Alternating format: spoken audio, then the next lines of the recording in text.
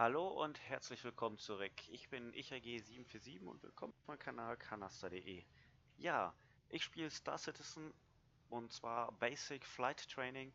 Dies ist Part 3 und es handelt jetzt gleich auf jeden Fall um die Basic des Kampfes. Ja, wie alle sehen, bin ich schon wieder in einem neuen Hangar gestartet für in diesem Video. Ich finde diese Option einfach, dass man das machen kann, immer ganz lustig.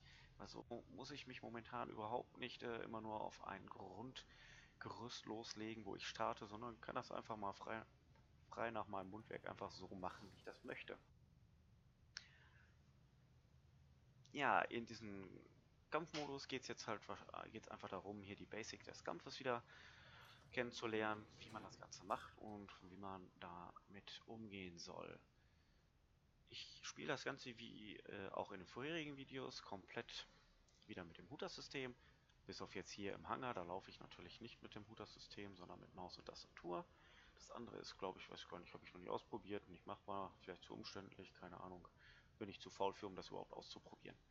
Wie üblich, ich hasse das Menü, ich nutze also unseren Pod. Mit dem Pod, wie alle ja soweit kennen, können wir nachher äh, zwischen einigen Modulen herwechseln.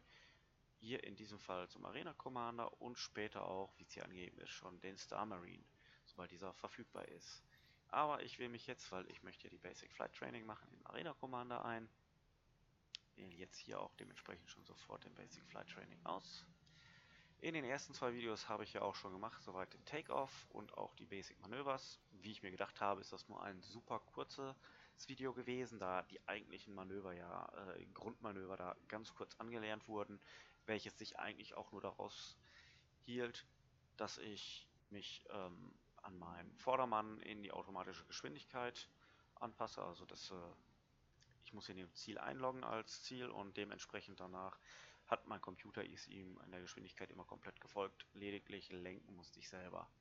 Ja, jetzt geht's weiter mit den, nach den Basic Manövers geht es jetzt weiter mit dem Basic Combat und hier geht's ab in die nächste Runde, schauen, was wir da so mitkriegen.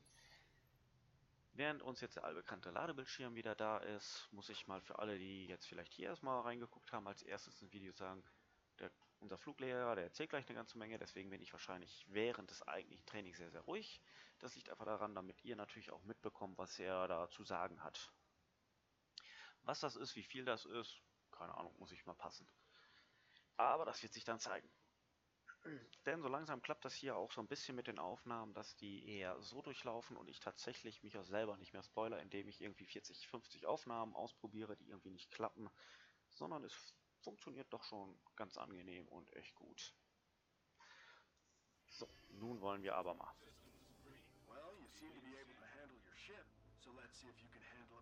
So,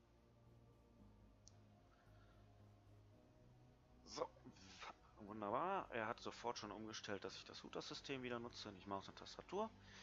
Und dementsprechend kann ich mich jetzt auch zum Gas geben mit meiner Maus und meiner Tastatur halt entsprechend.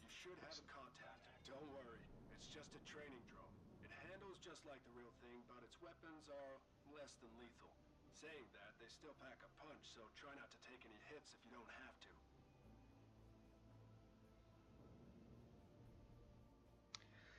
So, wir wollen immer nahe genug ranfliegen.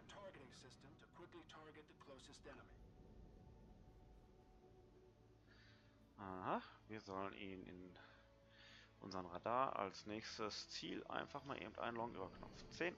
Das ist dieser.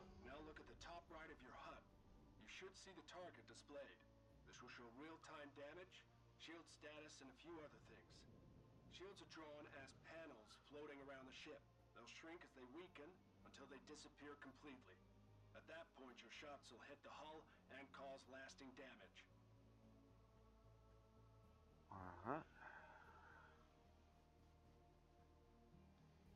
So, ich werde euch das Ganze hier nicht vorlesen. Ich lasse euch den Text so stehen, dass ihr den selber lesen könnt soweit.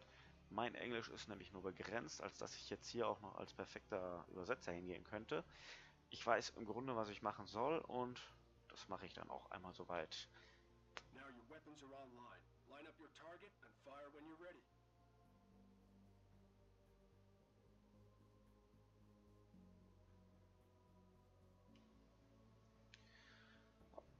Okay, wir haben unsere Knöpfe soweit.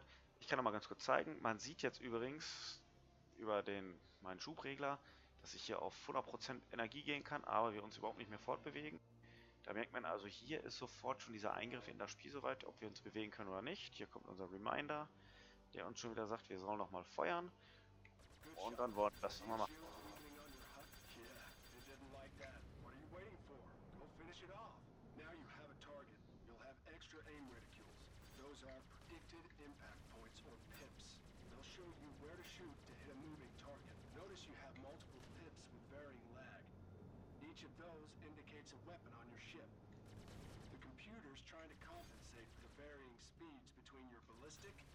energy projectiles.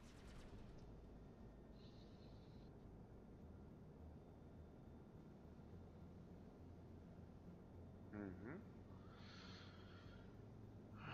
Also hier nochmal kurze Erklärung dazu ähm, über das Waffensystem, dass uns der Rechner ja auch entsprechend der Punkt des Auftreffens rechnet und dadurch haben wir immer diese kleinen grünen Vierecke, Dreiecke, ich habe jetzt nicht hundertprozentig darauf geachtet eben, die äh, halt über die Kette nachgezogen werden, die uns genau zeigen, wann wir in der richtigen Schussposition sind, um mit den entsprechenden Waffen der erste oder zweite auch treffen zu können. Jetzt geht es hier aber für uns einmal weiter. Ich versuche mich da mal einfach fleißig hinten dran zu hängen.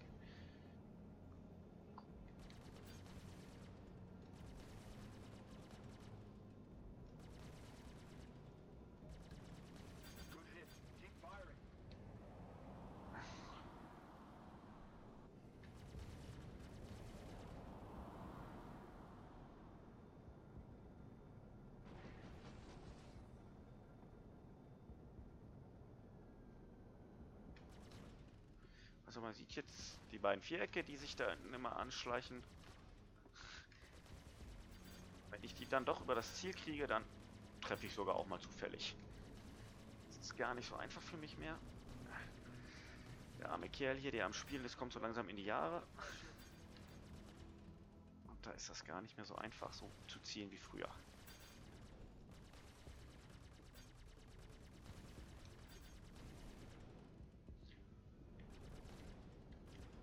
Eben noch bei den Basic Manövers gelernt habe, dass ich halt äh, die Geschwindigkeit an das Ziel anpassen kann. Die funktioniert hier überhaupt nicht. Obwohl, jetzt doch. Ah, ich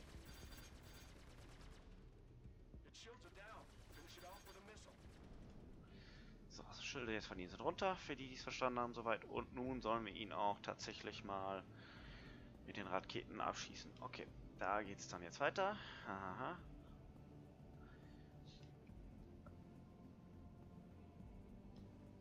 Also wir haben hier die Möglichkeit. Blocken.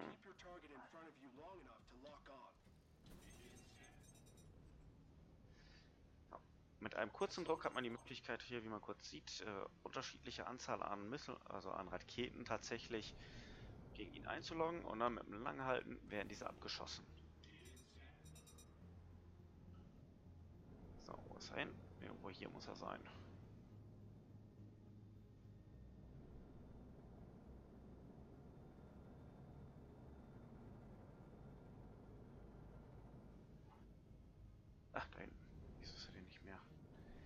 Ach ja, und hier seht ihr schon das erste, was ich wahrscheinlich aufgrund der Windows 10 Version habe. Ich weiß es nicht, ob andere das auch haben, das Problem, dass sich mein HUD nämlich nach und nach verabschiedet vom System.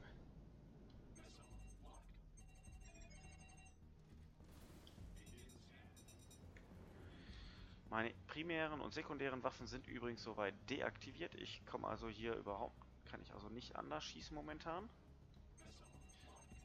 Oh, schießen wir den mal drei hinterher. Für mich ist das tatsächlich jetzt äh, eher ein ganzes hier so ein richtig schicker Blindflug. Ich versuche den einfach mal zu jagen und zu kriegen.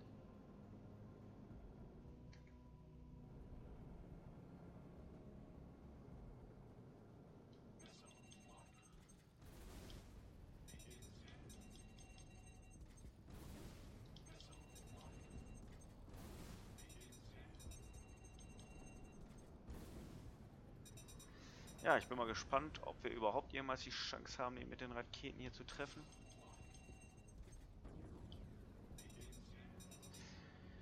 Er ist sich natürlich fleißig am Wehren.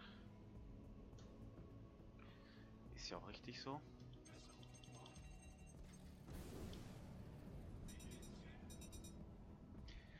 Es soll ja eigentlich nur ein Übungsziel sein, aber es ist gar nicht mal so einfach, den zu kriegen. Meine Güte.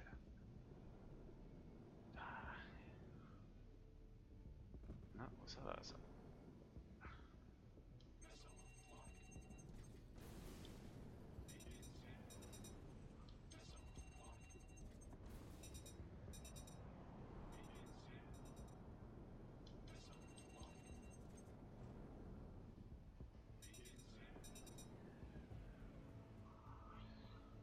froh, dass mein Radar noch einigermaßen funktioniert. So habe ich zumindest irgendwie die Möglichkeit, ihn nochmal auszuspähen.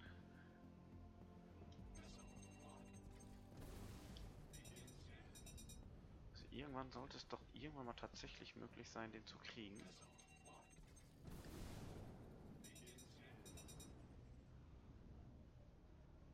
Ah, was ein Flug und man kriegt ihn nicht anders.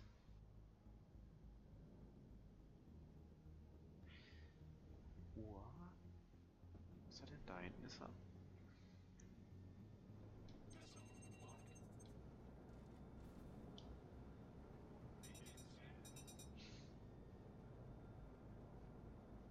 Mensch, habe ich lahmarschige Raketen, dass sie den nicht kriegen.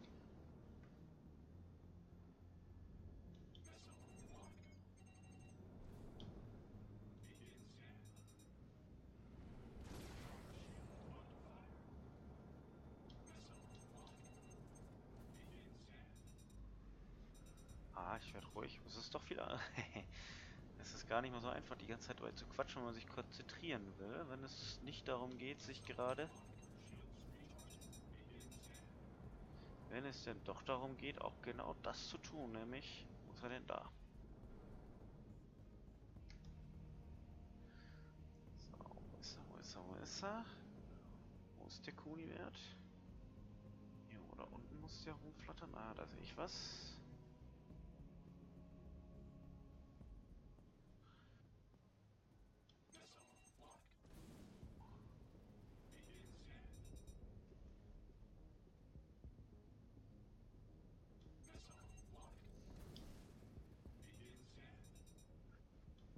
Ist, dass er überhaupt nicht getroffen werden kann. Mensch, habe ich lahmarschige Raketen. Volltreffer. Puh, Mensch, Mensch, Mensch, Mensch, hat das gedauert. Das ist ja länger, als man gedacht hat. So, jetzt soll ich zu, zu den... Ja... Zu ihm zurück.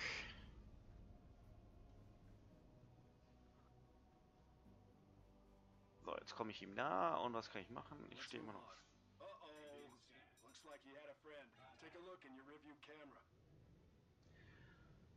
in my Review Camera. Okay.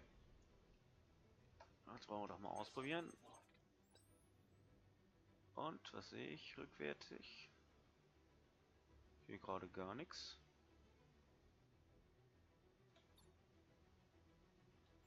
Ach, der ist an mir vorbeigeflogen.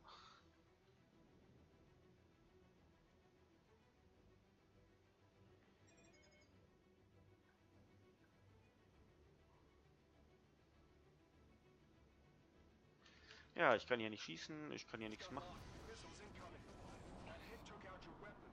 You'll have to hold out till they come back. Countermeasures are still online. Use them.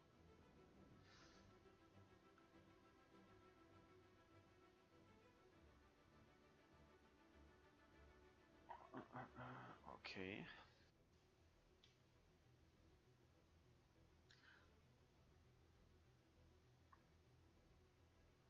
Hier wird nochmal kurz eben erklärt für uns als solches, dass wir jetzt... Helpful tip: don't boost after dropping one. Boosted thrusters are much hotter than a flare. Flares have a short lifetime. Don't be too quick to fire them. Another pro tip: countermeasures are fired backwards, so never fly the missile head-on. Launch countermeasure and expect it to work.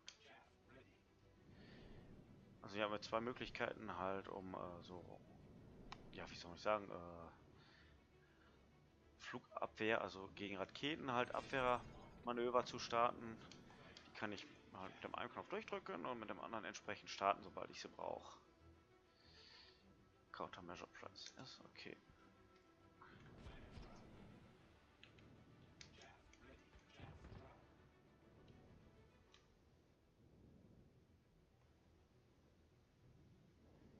Wahrscheinlich muss ich hier erstmal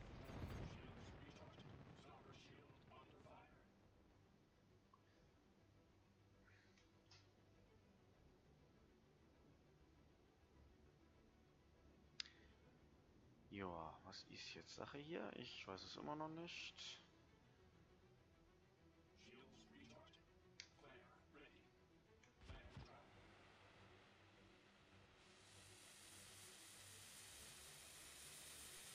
Na, mach ich doch. Soll mich wahrscheinlich beschießen lassen und dann einmal die...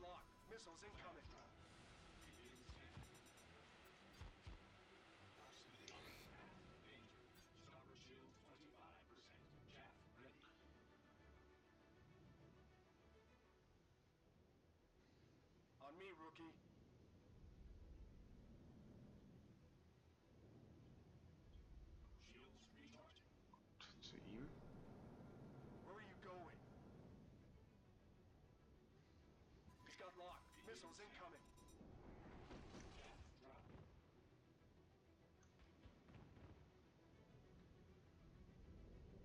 Good. You got your guns back. But I'll need more time to get your missiles up. If the drone gets behind you, enter decoupled mode to disengage your main engines and allow you to spin your ship around while retaining your original vector.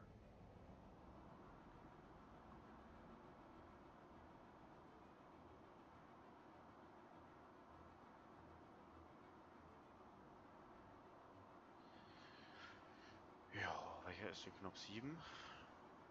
So ein bisschen rumspielen werde ich schon rausfinden.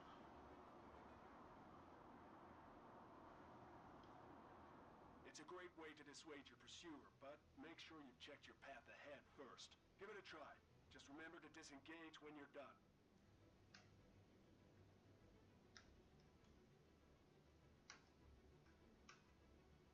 He's got lock. Missiles incoming.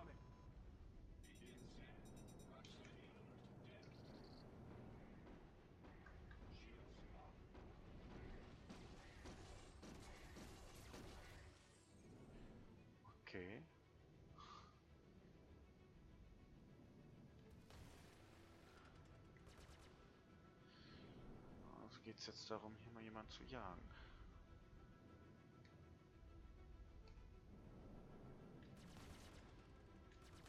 Sehr schön, wenn man das hat überhaupt nicht richtig sieht als Ganzes.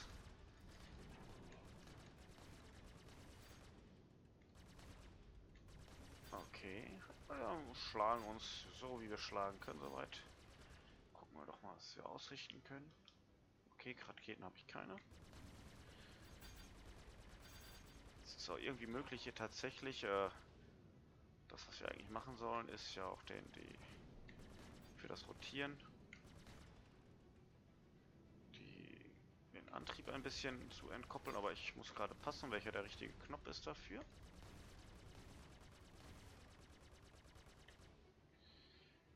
So, einfach mal den hier zwischendurch zu kriegen, dass ich hier ein bisschen Ruhe habe.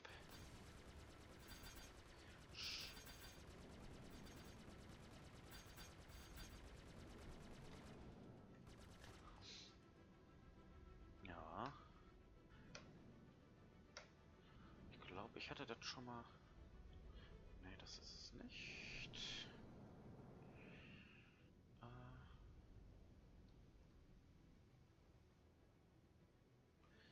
Mensch, Mensch, Mensch, welcher Knopf war denn das nochmal?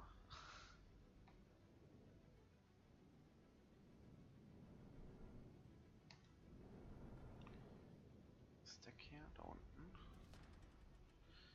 Aber welcher war bitte sehr der Knopf?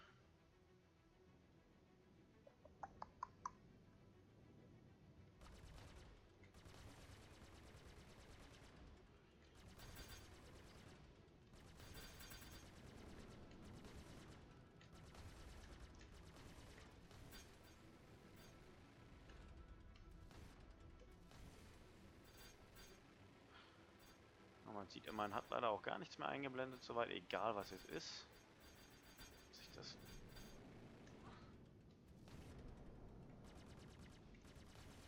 Ah, kein Waffenstatus, kein gar nichts mehr. Das ist natürlich jetzt in so einer frühen Alpha-Phase nicht ganz so wild. Da kann kann man nicht meckern darüber, um zu sagen, oh, Spiel ist schlecht oder so. Das ist halt einfach so. Das sind halt Bugs, die noch auftreten. Und das sind auch die Bugs, die halt alle noch irgendwann mal entfernt werden.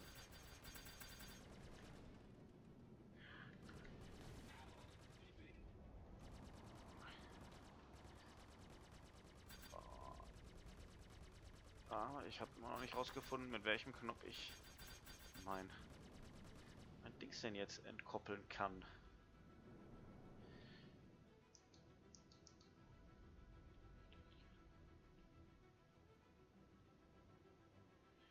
Ist nicht. Hier habe ich nur den und den.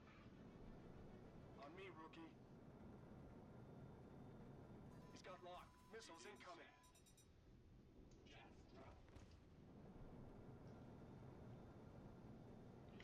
You got your missiles back. Take it out. Okay, ich habe meine Arcade zurück.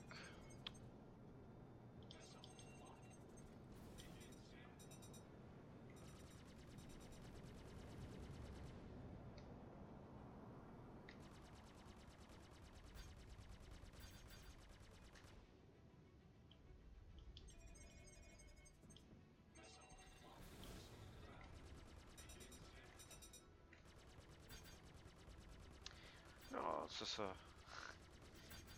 meine Güte. Wie keine Raketen mehr? Gibt's doch gar nicht. Für ein Computerspiel, da kann sowas gar nicht ausgehen. Ist doch wie im realen Leben.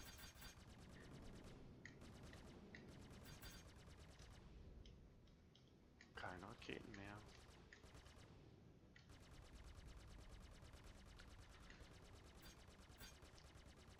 Keine Zielsensorik.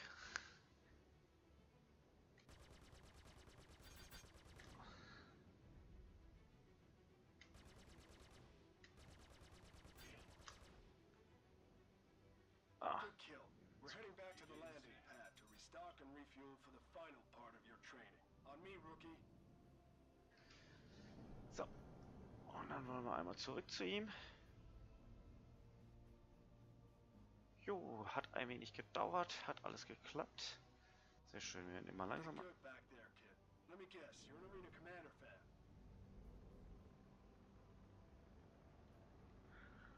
So, jetzt haben wir ihm folgen.